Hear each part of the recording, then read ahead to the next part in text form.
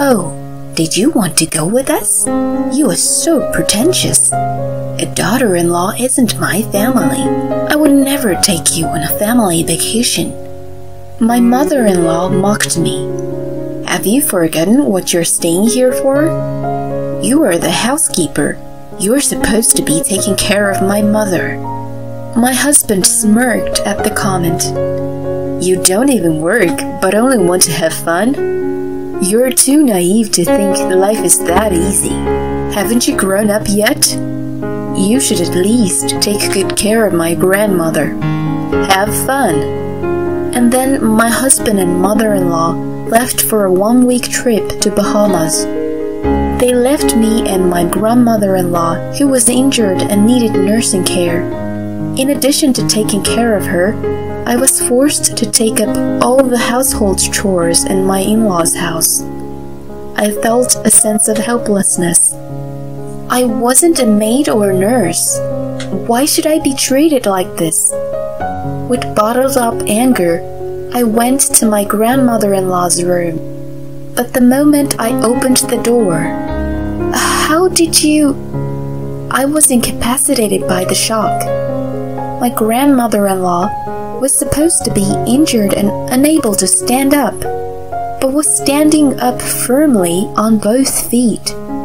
She walked up to me with steady steps and put on a beautiful smile. Let's show these two what we can do. My name is Beth. I used to work as a caregiver. I quit the job to become a housewife when I got married. I had just returned home from shopping and put my bags down on the table when my phone vibrated. It was an incoming call from Adam, my husband. He should have been at work at that hour. It was strange for him to call me. I answered the phone, feeling a little uneasy. Hello, honey? What's going on? Oh man, you know what? I got a little upset by what he said next. Maggie, my grandmother in law, had broken her leg and was unable to move. I was taken aback to hear that such an energetic woman who walked with a stride had slipped and fallen down while taking a walk. Even though she was healthy, she was quite old. I didn't know the extent of her injuries, but there was a good chance that she may become bedridden from now on. I knew she might need nursing care someday, but I never expected it to be so soon. My mom will take care of her until she gets better, but it's going to be hard for her to do it alone, you know? So, I'd like you to stay with them during this time. My mother in law, Kathy, lived with Maggie. She had no experience in nursing care, unlike me, so they thought it would be more reassuring to have me there. I have often visited my in law's house and interacted with Maggie. Whenever I saw her, she was always cheerful and made me feel at ease. I liked her very much. If there was anything I could do, of course I was going to help.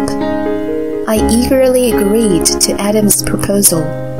The next day, I went to my in law's house alone. Adam had to work, so I was the only one staying with them. I looked up at the magnificent gate that I must have passed through many times. I had never paid much attention to it before. My in law's house was a grand colonial style mansion. The yard was beautifully landscaped with large pine trees and autumn leaves. When I thought about staying there for a few months, it made me a little nervous. I realized that visiting and living in a house was completely different. As I walked the path leading up to the front door, I took a deep breath. Welcome, Beth. I am so glad you could stay with us. Thank you. I am happy to be of your help. Kathy greeted me at the door. I had a bit of a hard time with her. She had two sides and if she didn't like something, she got into a bad mood instantly. I had kept a distance from her ever since she gave me a sarcastic remark. how's Maggie doing? She seems fine, to the point I'm getting annoyed. After exchanging a few words, she answered with a laugh about Maggie. I knew she was joking, but I sensed the truth in her words and felt a prickle in my stomach. I wasn't a fan of her at all. I wanted to get away from her as soon as possible. I think she's in her room. Why don't you go and see her? I gladly took her suggestion. Hi, Maggie. Oh, Beth. I am sorry it's become such a big deal. I was a little relieved to see her sitting on the bed, looking as healthy as before. But the cast from her waist to her right leg looked painful. According to her, when she slipped, she fell on her buttocks and broke the base of her thigh. When I worked at a nursing home, I once took care of a patient who had the same fracture. I remembered how hard and painful it was for the patients to move around. If there is anything I can do to help you, please let me know. Don't worry too much. Just make yourself at home. I took her hands and she returned her usual gentle smile.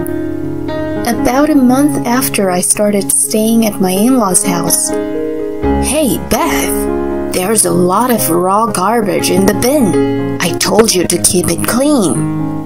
Kathy yelled at me from the porch while I was hanging the sheets in the yard. I was completely exhausted. In addition to taking care of Maggie, I became responsible for all the housework there. Within three days of my arrival, Kathy abandoned it and threw it at me. Well, why don't you do it? I am busy right now. I talked back to her.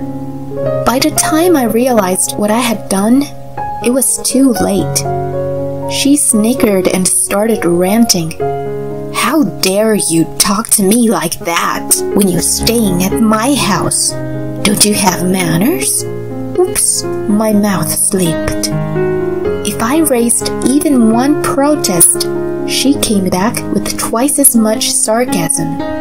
I, of course, stood my ground in the beginning, but I became tired and stopped arguing after going through it every time. Since you married into my family, it's your duty to serve us, you know.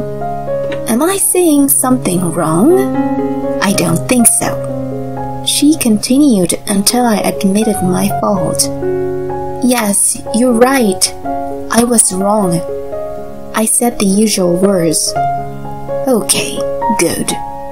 She walked away towards the living room. I had just finished most of my chores and was about to take a break when I received a call. I looked at the name and sighed for the unknown times. Hey, why haven't you done my laundry? Adam's angry shout came from the phone. Not only Kathy, but I had another cause of my exhaustion. It was my husband. He stayed at home because of his commute, which meant that there were chores that needed to be attended to there as well. In addition to taking care of Maggie, I had to take care of everyone's chores. I don't have time to take care of things there. Do it yourself. It wasn't like he couldn't cook or do laundry. In fact, for a while after we got married, he sometimes took the initiative in doing the housework. He became completely dependent on me, though. He wasn't pleased with my answer and raised his voice even more. What are you talking about? You are a stay at home wife. You got all the time in the world, don't you? Why can't you even do this? He put himself on the back burner and put all the blame on me. The way he said it was just like Kathy, and I lost all energy to talk back to him. I moved the noisy phone away from my ear, hung up on him, and then threw it on the couch in a fit of anger. At that moment, the door opened and Kathy peeked out. I stiffened, expecting her to say something. I'm going out for a while. You stay here. Um, sure. and as soon as she said it, she was gone. Ever since I came here, I felt that she had been going out more often. I wondered if it was to force me to do the housework. I was also fed up with myself for thinking negatively like this in those days. No matter how busy I was, neither Kathy nor Adam helped me. On the contrary, they complained to me. I felt low from their uncaring attitudes. Only Maggie who could not move, cared and worried about me. Though I was exhausted both mentally and physically, there was something to be happy about. Maggie's leg was gradually getting better. The part she broke could have made her bedridden if unlucky. She had been going to rehab regularly, and her leg was getting better little by little. I felt very relieved seeing her like that. Thank you for everything. It's all thanks to you. On the way back from the hospital, she kept thanking me fervently, and I was uncomfortable. No, not at all. But I'm glad you're getting better. The sun shined on my hands as I gripped the steering wheel. It was a nice, sunny day, the first in a long time. Maybe I should have her take her meal out on the porch. I'll make sure to repay you for this favor. I didn't really understand what she meant at the time. Three months have passed since I started staying with my in laws. I finished putting away the dinner, and when I emerged into the living room, Kathy was there. She had a large suitcase open and was humming a tune. Hey, Kathy, what's going on? She stopped packing and looked at me. Oh, right. I forgot to tell you. I'm going to the Bahamas tomorrow. Pardon me? I thought I had misheard her, so I asked her back. She must have been in a good mood because she said again, Bahamas, Bahamas, and went back to packing her bags. It was usual for her to go out somewhere, but going abroad was totally out of the blue. She should have at least consulted with me beforehand. She said, without even looking at me, Take care of my mother, okay? I kept my mouth shut. It didn't matter what I said to her. Besides, even if she was at home, she didn't take care of Maggie or do the housework it made no difference. If anything, I felt better for not having to deal with her usual sarcasm. I wanted her to leave as soon as possible. I drifted off to sleep, complaining. The next morning, I heard someone coming into the house, and then the living room door opened. Mom, are you ready? Adam, I've been waiting for you. I heard his name and came out of the kitchen in surprise. Honey? What are you doing here? For some reason, he was standing there.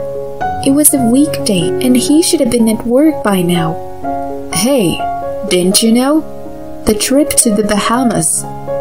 Yeah, I know, but why are you here? Well, I'm going with my mom. What are you? He said it so matter of factly that I was absolutely stunned. Kathy must have misunderstood my surprised face and smirched at me. Oh, perhaps you wanted to go with us, Beth.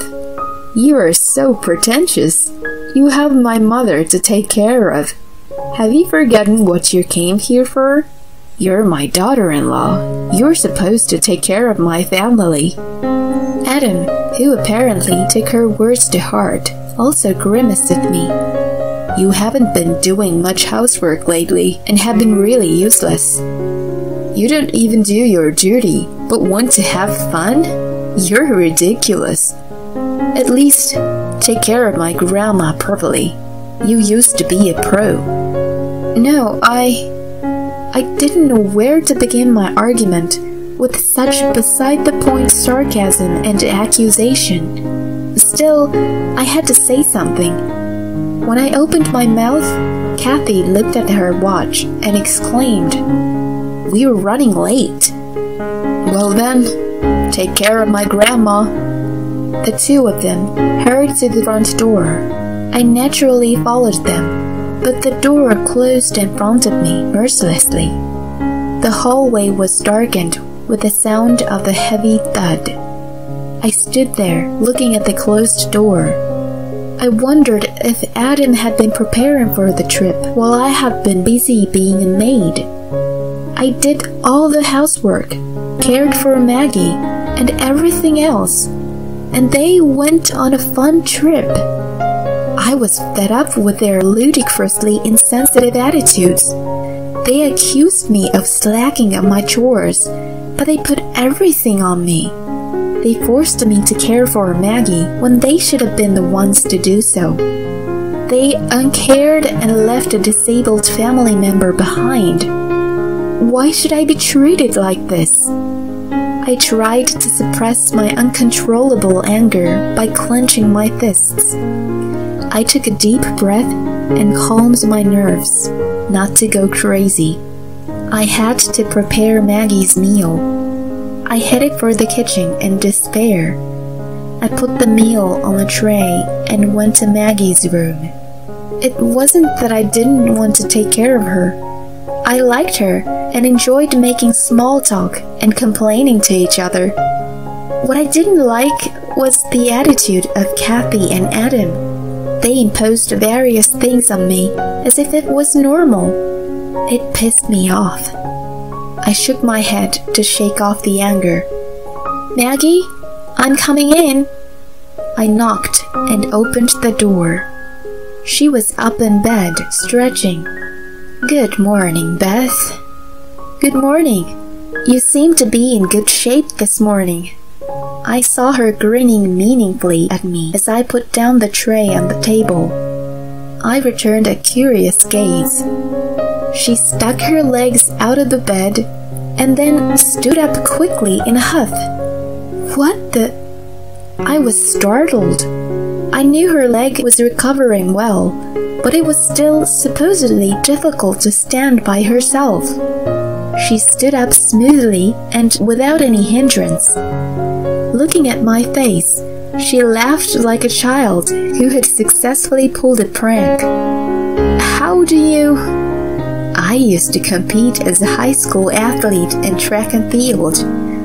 I still couldn't understand what she was trying to say. She saw my puzzled expression and explained what had happened. Track and field was her passion when she was young, and she spent all her spare time training. Leg injuries were almost a daily occurrence back then, so she knew what to do when she got injured. Thanks to her precise initial response, the injury did not worsen, and she was able to recover faster than usual. In addition to having trained her muscles well from a young age, she still took walks on a daily basis. She must have maintained her strengths. No wonder her legs and back were strong. Remembering how she always walked with a beautiful posture, I was oddly convinced. I was bored just laying still in bed, so I was doing rehabilitation secretly. She had recently regained the ability to walk after a diligent routine. Of course, she was also doing it at the hospital, but it was not enough for her. Her active, always on the move attitude was so like her that I couldn't help laughing. She suddenly made a serious expression and walked toward me.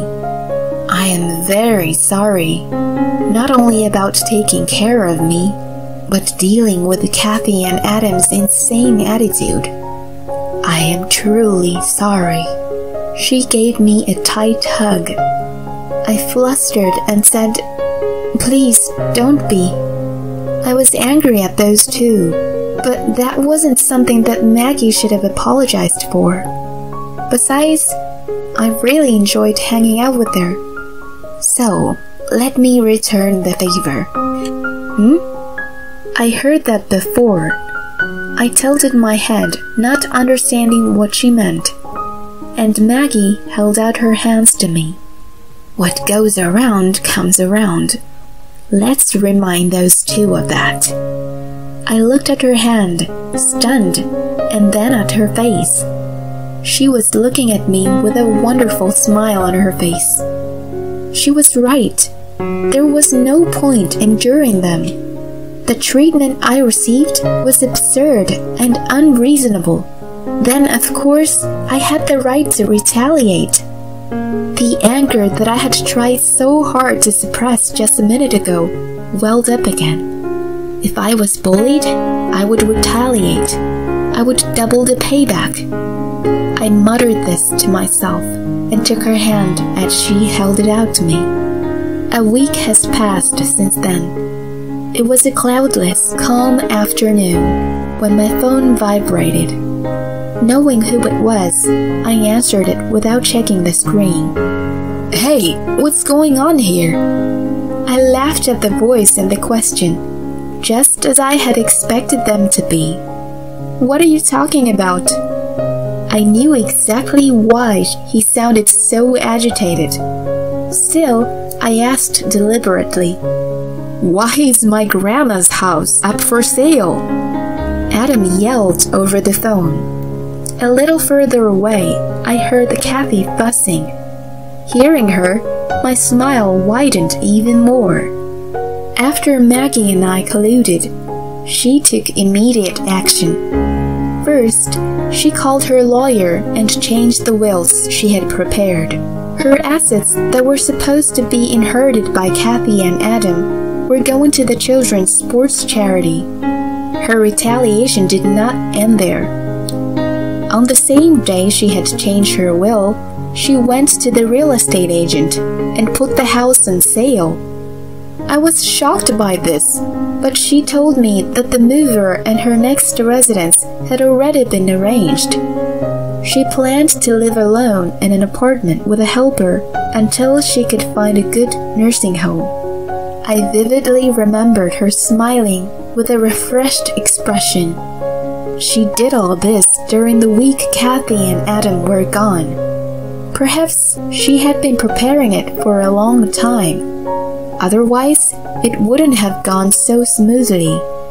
She couldn't bear to see her daughter and grandson behaving as they did. Maggie's moved out. What the hell? Why? Well, I think she got tired of you guys leaving everything to me. Adam was annoyed by my nonchalant tone and burst into anger. It's you, isn't it? You said something to her, didn't you?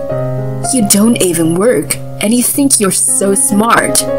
You're just a wife who fails to do what he's supposed to do. You pull this stupid shit. His angry voice overlapped with Kathy's scream. That was when my anger reached a boiling point. Who's pulling the stupid shit? Startled by my sudden outburst, their confusion seeped through the phone. You're the ones who are running away from your responsibilities. Who do you think you are, putting everything on my shoulders? I'm not your servant or housekeeper. I slammed the words at him as if punching him in the face. He seemed to be searching for words, trying to say something, but not a single word came out. And by the way, I'm divorcing you. I've grown tired of you too. I said it in a way that I really didn't care about him.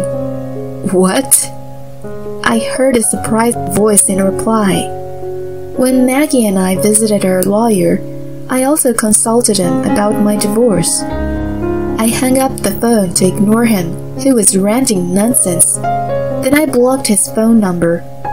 When I finished my work and took a breath, Maggie, who was sitting on the brand new sofa, laughed. I hope I have repaid the favor. I turned my body toward her and smiled radiantly. Yes, for sure.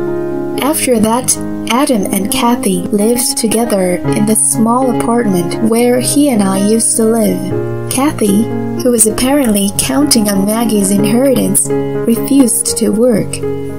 Adam's salary was not so great, but her extravagance was still the same, and they fought every day. They tried to borrow money from relatives, but Maggie had already laid the groundwork. No one wanted to help them. Sometime later, I encountered a little incident. When I was shopping at a local supermarket, I heard yelling. I was astounded to see what was going on through the crowd. There was Kathy arguing with another customer. She was just about to grab the security guard who was trying to stop her. I saw her fall down, but I didn't know what happened afterward. I wasn't interested, and I didn't want to have anything to do with her anymore. Rumor has it that she broke her bone and needs care but she has no one and is at her wits' end. Furthermore, I found out that Adam used his paid family leave to go to Bahamas. I don't know where the leak came from, but it got out to his office. His co-workers still look at him with dismay. He failed to find a new job and is still working at the same office, feeling ashamed of himself. And as for me, my divorce was finalized without a hitch. I have a new job as a caregiver and work at a nursing home near my house. Maggie now lives at a facility I work at. She is spending her days to the fullest every day. There are always a lot of people around her. She is very active and friendly, and is very popular there. I even envy her a little. She notices me and beckons me over with a smile. I smile back and head over to her, thinking of the new days ahead.